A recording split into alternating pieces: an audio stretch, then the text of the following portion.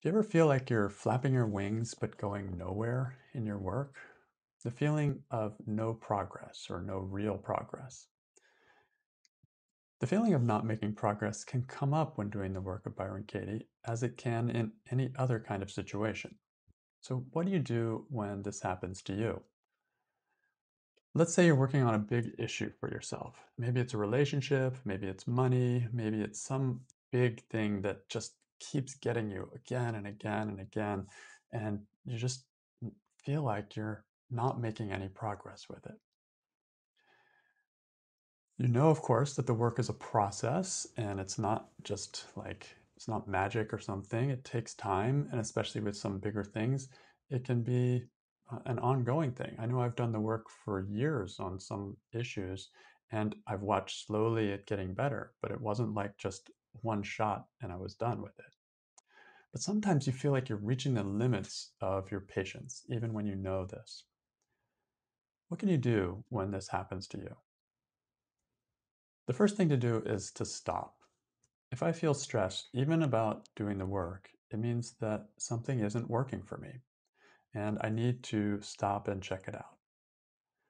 My tendency, of course, is to keep on going and going and pushing forward and trying to make things happen. I think a lot of us have that kind of thing um, whether not necessarily with doing the work, but with whatever it is that we're trying to do. Like that idea of forcing or pushing is common in in in all of us.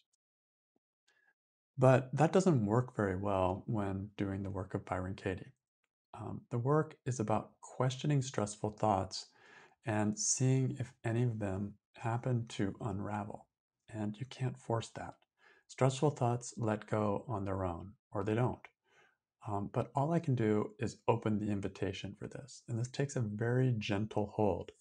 Sometimes I make the analogy of like if you're if you have a bunch of string that's knotted up and you start pulling hard on that string, it just makes it tighter and tighter knot. It's actually harder to get it get it undone. But if you hold it very loosely and just kind of pull loosely here and there, then oftentimes you can unravel the knot and it, it is not a problem anymore.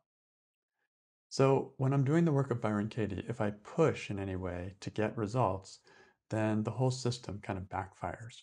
Um, stressful thoughts are kind of like two-year-old kids who are actually in a position of power. Like imagine a two-year-old kid, but then imagine that they actually were in power, like they were the king or something. Um, they're not going to relinquish that power just because I tell them to. That's just not going to happen.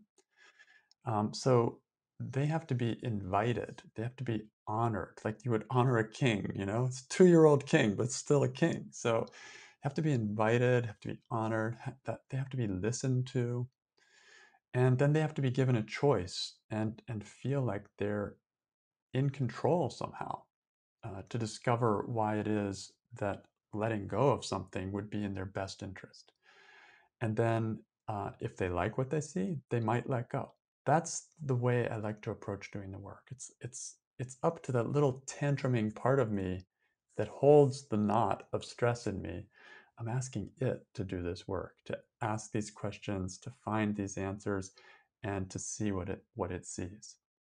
But if I get start getting impatient with this process because part of me knows this should not be a problem and I should be over it and I all that, if I start getting impatient, then um, it, it doesn't work so well. And so what I need to do is actually stop for a moment because pushing is not going to get me anywhere.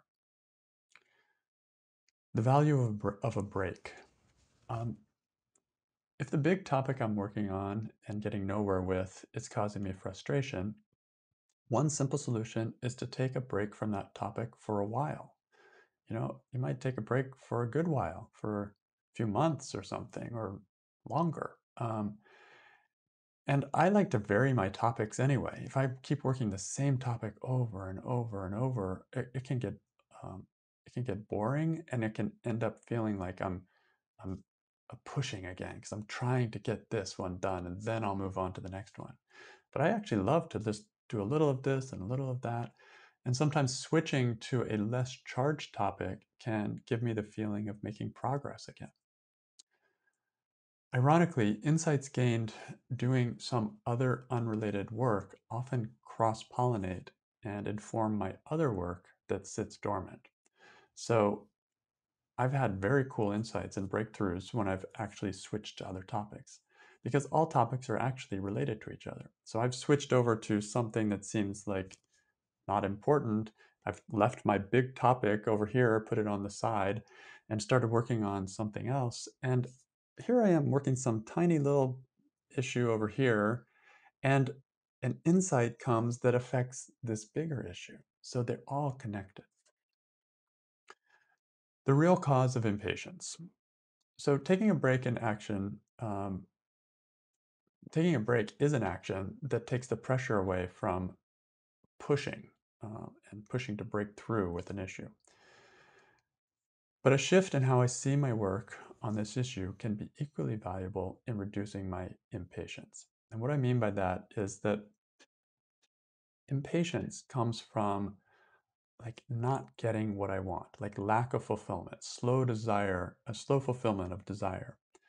And if I feel impatience when doing my work on any topic, I look for the hidden desire in myself. Like, what is it that I'm wanting? What is it that uh, I think I need here?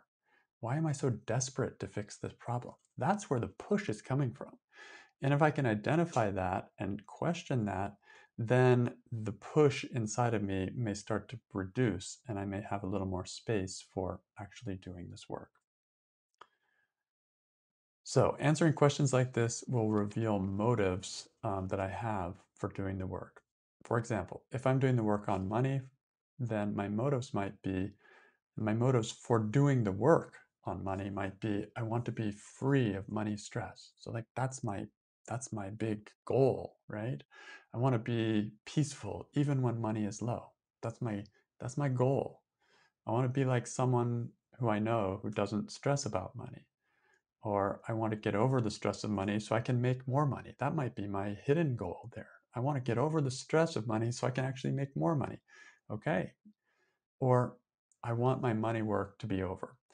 These are all motives. They're motives for doing the work on money. And you may have motives for doing the work on a relationship, on doing the work on any other kind of subject.